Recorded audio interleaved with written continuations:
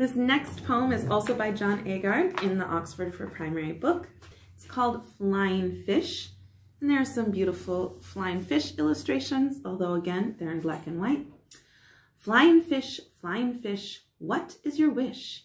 In water you swim, yet like to skim through wind.